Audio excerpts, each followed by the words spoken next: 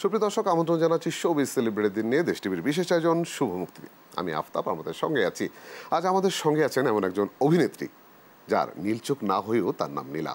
নীলাঞ্জনা ওই নীল নীল চোখে চেয়ে দেখো না তোমার এই দুটি চোখে হারিয়ে গিয়েছি। বোঝাতে তো কিছু পারব না। আমাদের সঙ্গে আছে নীলাঞ্জনা নীলা। কেমন আছেন? আমি খুব ভালো আছি। থ্যাংক ইউ সো মাচ না এই গানটা আসলে আমরা এতবার শুনেছি। আমাদের আসলে গাওয়ার সাধ্য নেই মানে একটু আবৃত্তি স্টাইলে বললাম আর কি। সবচেয়ে ভালো লেগেছে যে অনেকে তো গিয়েছে আমি জানি। সবচেয়ে ভালো লেগেছে এমন কোনো পার্সন আছে যে আপনাকে আপনাকেই একান্ত ডেডিকেট করে গানটা গিয়েছে? অনেক অনেক মানুষ এই গানটা আমার জন্য গেয়েছে। একজন তো ছিল যে নীলাঞ্জনা এবং নীলা দিয়ে যত রকমের গান আছে একটা পেন ড্রাইভে করে আমাকে পাঠিয়েও দিয়েছিল। ওটা কি ভক্ত ওটা কি ভক্ত ছিল? মেবি পরে কি? মানে তারপরে আপনার এই জায়গা থেকে রিপ্লাইয়ের কি জায়গাটা ছিল? আমি শকড এত গান আছে আমার মনে আছে ফর্টি অর ফর্টি টু মনে হচ্ছিল। ইংলিশ এবং হিন্দি এবং হচ্ছে বাংলা। মানে নীলা আর নীলাঞ্জনা মিলে যত গান আছে হ্যাঁ। সবগুলো পাঠানো হয়েছে। বাহ চমৎকার। আচ্ছা একটু আমরা শ্যামা কাব্যে ফিরে আসব। গহীন বালুচর থেকে শ্যামা কাব্য। আমরা মাঝখানে একটু বলব একটু অনেক প্রায় পাঁচ ছয় বছর একটু আমি পাইনি। এটার ব্যস্ততা জায়গাটা আসলে কেন ছিল? মানে এই গ্যাপটা কেন ছিল? এর মাঝে হচ্ছে আমি পার্সোনাল লাইফে একটু ব্যস্ত ছিলাম। আমি গ্র্যাজুয়েশন কমপ্লিট করলাম। এছাড়াও বেশ কিছু জিনিস নিয়ে আমি নিজে ব্যস্ত ছিলাম। নাটক করা হয়েছে সিনেমায় নাটক, হ্যাঁ। কাজ করা হয়েছে সেগুলো আসবে সামনে। আচ্ছা আমরা যখন আমরা গহীন বালুচর দেখেছিলাম তখন মনে হয় লাক্স থেকে বের হওয়ার পর পরই ওই ওই ওইটা মানে চোদ্দোর পর জাতীয় চলচ্চিত্র পুরস্কারে ওই সময় প্রায় ষাটটা ক্যাটাগরিতে ওই এই সিনেমাটার পুরস্কৃত হয়েছে। যদিও আমরা ক্ষুদে শিল্পী হিসাবে আপনাকে পাইনি। ওটা কি কোনো মানে একটু ক্ষোভ আছে যে না এতগুলো ক্যাটাগরিতে পেয়েছে আমি পাইনি কোনো ইয়া আছে নাকি না না ওইরকম নেই কিছু। কারণ আমি একদম নবাগত ছিলাম। নবাগতদের জন্য ওইরকম অপশন ছিল না এবং ওই বছর অনেক গুণী অ্যাক্টররা পেয়েছে। সো ওই জায়গা থেকে মন খারাপ করার কোনো অপশন ছিল না।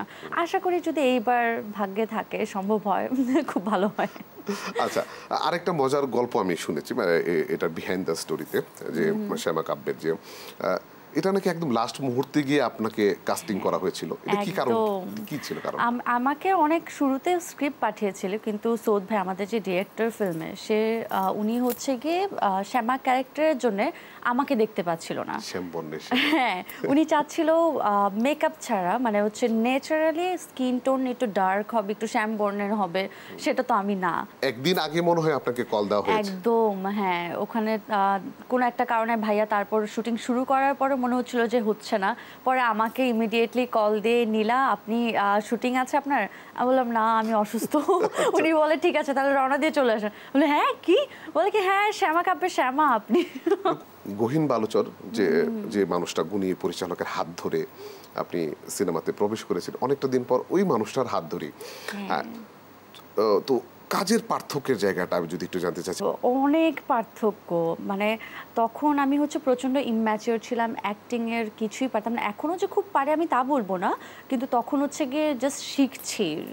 তখন রিহার্সাল করেছি ম্যাম ভাইয়ের কাছ থেকে শিখছিলাম নতুন নতুন জয়েন করেছি কীভাবে কাজ হয় দেখছিলাম এবং একদমই এক্সপিরিয়েন্স ছিলই না।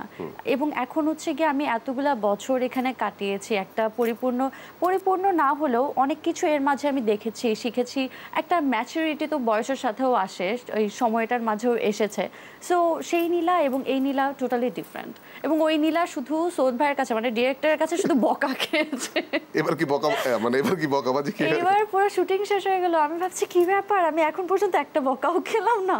আচ্ছা, আচ্ছা। বরং হচ্ছে সৌদ ভাই আমার সাথে এসে ডিসকাস করছে সিন নিয়ে কি হতে পারে না হতে পারে যেটা নাকি তখন হতো না। তখন হচ্ছে এটা এইভাবে করবেন ওভাবে করবেন। অর্ডার ছিল। আচ্ছা। তো ওই সময় যে কস্টিউমগুলো যে যার জন্য বানানো হয়েছিল হ্যাঁ। পরবর্তী সময়ে আপনার উপরে সেগুলা ইয়ে করা হয়েছে এক্সপেরিমেন্ট করা হয়েছে। সেই ক্ষেত্রে কি কোনো ঝামেলা সম্মুখীন হয়েছে ঝামেলা আমার হয়নি। ঝামেলা যা হবার হচ্ছে আমাদের কস্টিউম ডিজাইনার যে ছিল তার হয়েছে। কারণ সব কস্টিউম আরেকজনের মাপে বানানো তারপরে ইমিডিয়েটলি আবার আমার মাপ নিয়ে আমি ওখানে সেটে যাওয়ার পরে আবার সেটাকে ঠিক করে আমার মাপে বানানো আমার মনে হয় সেটা আলাদা একটা সে ডিফারেন্ট একটা যুদ্ধ করেছে সেটা নিয়ে। গল্পটাকে তো যেহেতু আপনি বলেছেন যে আগেই নাকি আপনি স্ক্রিপ্টটা পেয়েছেন হ্যাঁ, সেক্ষেত্রে ওই সময় কি মনে মনে প্রস্তুতি নিয়ে নিয়েছিলেন? আমি তো মানে শ্যামা কাব্যটা, স্ক্রিপ্টটা পড়ার পরে আমার কাছে আমাকে এত অ্যাট্রাক্ট করছিল শ্যামা ক্যারেক্টারটা আমি নিজে সত্যিই করতে চাচ্ছিলাম। কিন্তু হচ্ছিল না, সে কারণে একটু মন খারাপ হয়েছিল। যখন নাকি ফাইনালি আমাকে বলল, আমি তো হচ্ছে আকাশের চাঁদ পেলাম হাতে মনে হচ্ছিল। আমার মানে নাটক তো এর মাঝে করা হয়েছে, কিন্তু ফিল্মের বা সৌদ ভাইয়ের স্ক্রিপ্টের, বা ওনার সিনেমার যেরকম একটা জার্নিতে উনি যেভাবে ডিরেকশন দেয় অ্যাক্টরদের যে একটা ক্ষুধা থাকে সে ক্ষুধা নিবারণের জন্য ওখানে কাজ করতে হবে। এবং যখন নাকি আমি শ্যামা কাব্যে কাজ করলাম সিরিয়াসলি আমার মানে অ্যাক্টরের সোল স্যাটিসফ্যাকশনের একটা ব্যাপার থাকে সেই স্যাটিসফ্যাকশনটা আমার হচ্ছে গিয়ে এই কাজটা করতে গিয়ে এসেছে। একটু গল্পের জায়গাটা যদি একটু আমাদেরকে একটু শেয়ার করতেন আমাদের সিম- আজাদ যে ক্যারেক্টার আমাদের সোহেল মন্ডল করেছে তার ডিভোর্স হয় এবং কিছু কাছের মানুষ তার বিট্রে হবার পরে সে একটা সাইকোলজিক্যাল ট্রমা বা একটা ডিফারেন্ট মেন্টাল ট্রমা দিয়ে যাচ্ছিল সে।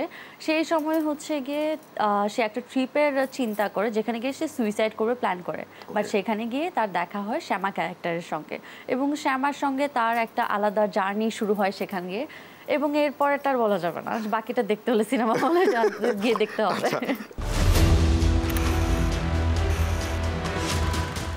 দর্শক ফিরে এলাম ছোট্ট একটি বিরতির পর। আমাদের সঙ্গে আছেন নীলাঞ্জনা নীলা। একটু গল্প প্রসঙ্গে ছিলাম। আমি যতদূর জানি যে শোল মন্ডলের সাথে একটা ছোট্ট ওয়েব ফিল্মে মানে ছোট্ট একটা জায়গাতে কাজ করা ছিল টান রায়ান রাফির হ্যাঁ। তো ওই সময়ে তো ওয়েব ফিল্মে কাজ করা আর এটা হলো একদম মূল ধারার সিনেমা তো সোহেল মন্ডলের সাথে কেমিস্ট্রির জায়গাটা কেমন ছিল? টানে হচ্ছে গিয়ে খুব অল্প সময়ে আমি ছিলাম এবং হচ্ছে ওর শুটিংও মনে হয় একদিন কি দুই দিন ছিল।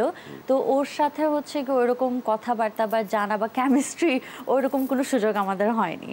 ওর সাথে মূলত হচ্ছে টাইম স্পেন্ড করা বা হচ্ছে গিয়ে জানা চেনা জানা বা ওই এরকম একটা বন্ডিং ক্রিয়েট হয়েছে আমাদের শ্যামা কাব্য করতে গিয়ে। আচ্ছা। হ্যাঁ সেখানে হচ্ছে ওকে চিনেছি বা অ্যাক্টর কীরকম বা কীরকম হেল্প পাওয়া যেতে পারে কো অ্যাক্টর হিসেবে সবকিছু হচ্ছে শ্যামা কাব্যেই হয়েছে।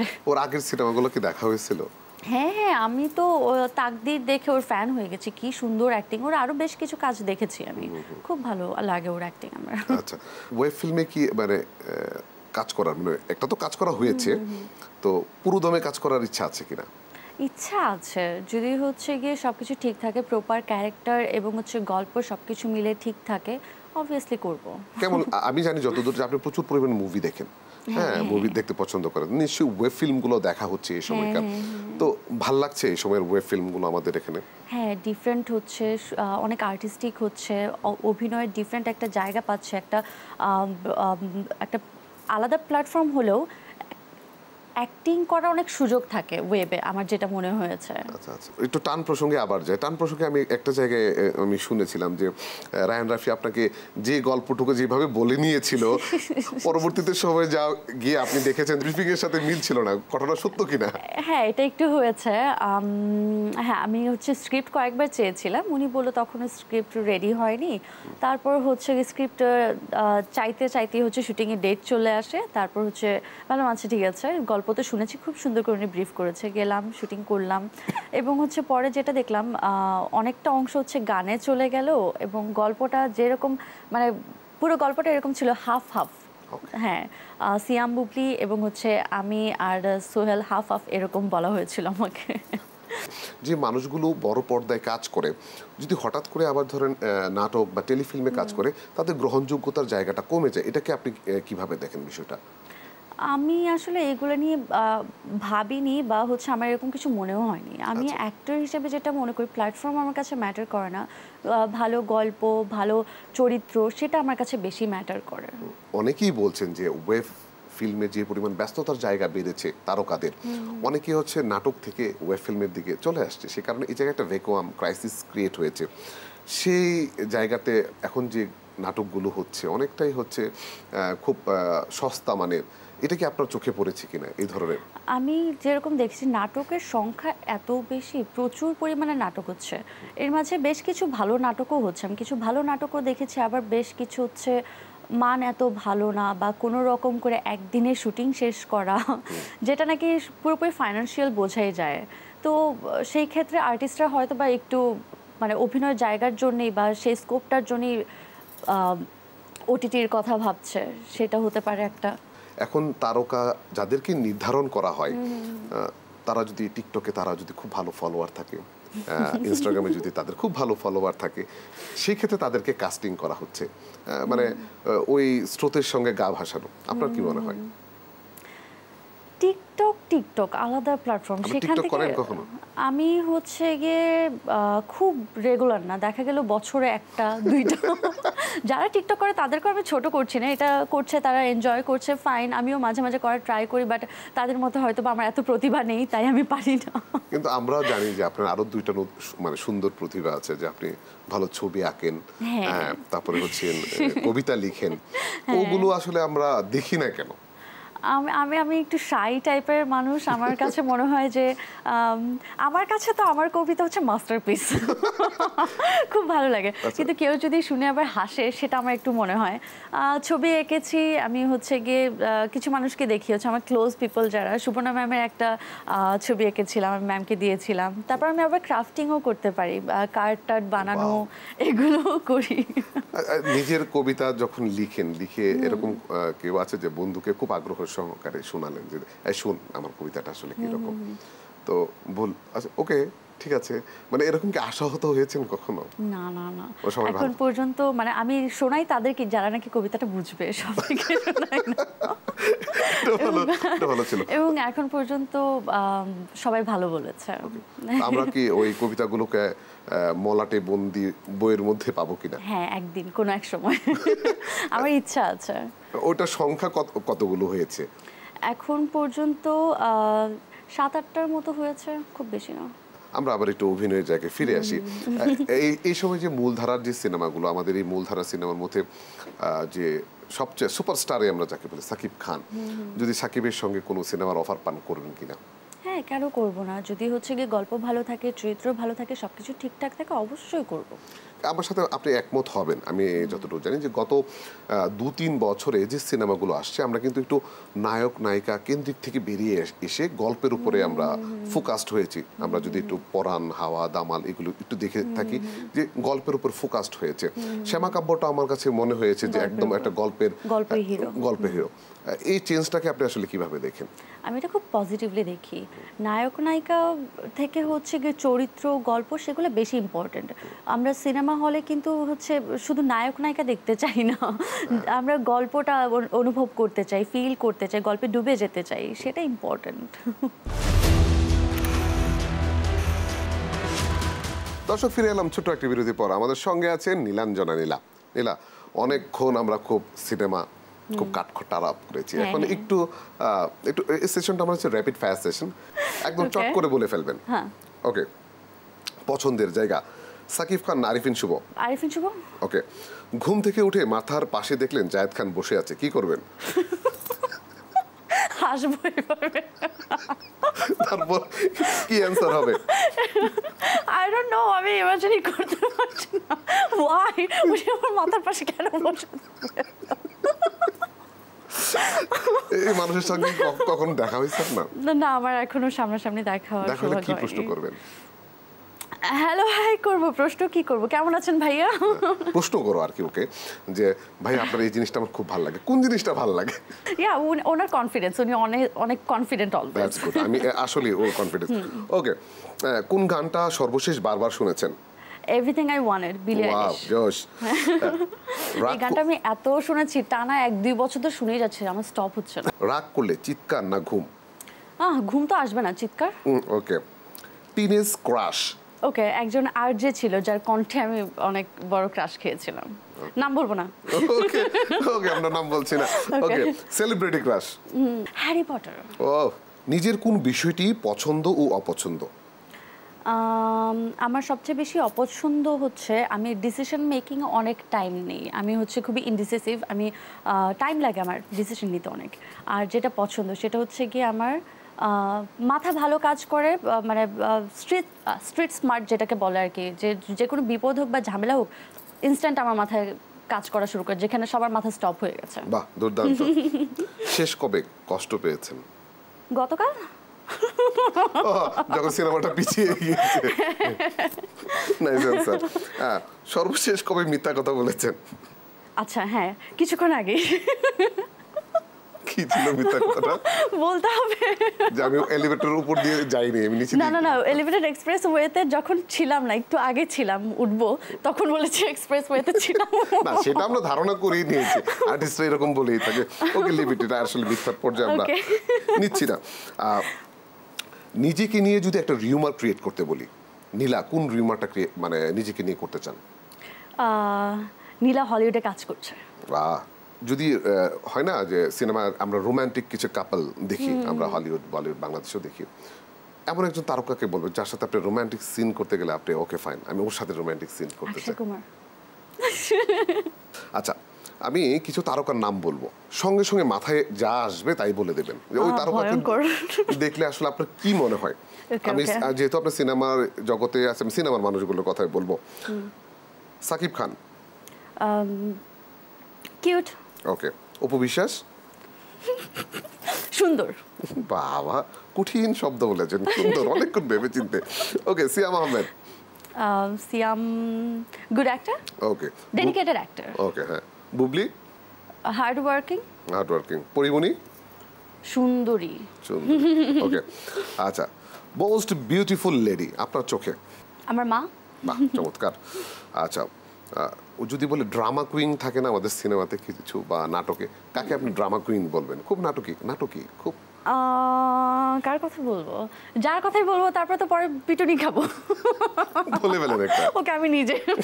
Drama queen okay. Nilanjana Lila okay most foodie actor and actress খুব ফুডি হ্যাঁ খুব খেতে পছন্দ করে। হয় না শুটিং সেটে তো আপনার হ্যাঁ, এ- হ্যাঁ। এরকম কোনো কিছু আছে? অপূর্ব ভাইকে আমি অনেক খেতে দেখেছি। অপূর্ব ভাইকে আমি এটা পাঠাবো। ওনাকে দেখেছি আমি হচ্ছে ফুচকা নিয়ে একটু পর পর খেতে থাকে। আমাকে হ্যাঁ হ্যাঁ আমাকে সাথে আমি বলে আমি খেতে পারি না। উনি দেখি টানা খাচ্ছে তো খেয়ে যাচ্ছে। ওকে সিনেমা যখন বা অভিনয় করতে যান অনেক অভিনেতা অভিনেত্রীরা কিন্তু খুব মোটিভেশনাল স্পিকার টাইপের আপনাকে সবচেয়ে বেশি এরকম মোটিভেশনাল স্পিচ কে দিয়েছে বেশি? আমি আসলে সরাসরি অত স্পিচ শুনি না। কিন্তু হচ্ছে আমি যদি জ্ঞানের প্রয়োজন হয় তাহলে আমি ছুটে যাই সুবর্ণা ম্যামের কাছে।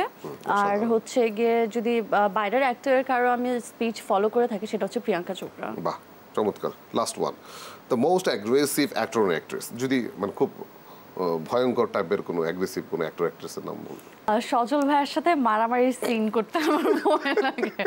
উনি খুবই হচ্ছে ডেডিকেটেড অ্যাক্টর এবং খুব সিরিয়াস হয়ে যায়। যদি হচ্ছে মাইকটা সিরিয়াসই দেয় হ্যাঁ দেখা যায় যে গলায় চাপ দিবে সেটা হচ্ছে একটু পরে দাগ পড়ে যাবে।